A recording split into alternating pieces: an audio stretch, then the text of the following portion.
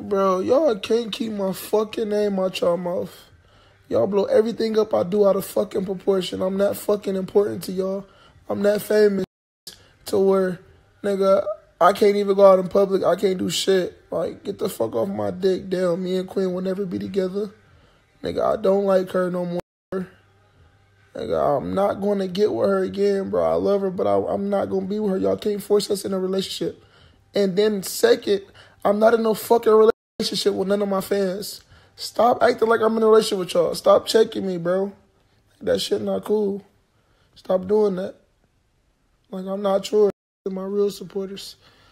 But everybody else fuck. Hey, stay the fuck on my comments, bro. Like I get to do what the fuck I want to do. I'm single as fuck. Stop worrying about me.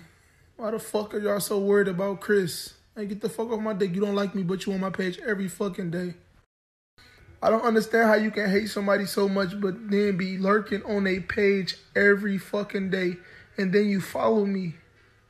Like you don't know if you want to be a fan or a fucking hater. Get the fuck off my page. Bro, stop comment on my fucking videos. What the fuck is wrong with y'all? Like I'm never going to get back with Queen. I don't want to be with her, bro. I'm sorry y'all hurt. Y'all like y'all was in a relationship with us. Damn. I don't want to be with her. It's okay. We moved on. I'm that fucking famous. Y'all can't keep my fucking name out y'all mouth. Now y'all making up lies. Y'all believe anything on social media. They talking about dancing with a 15 year old. Come on now, bro.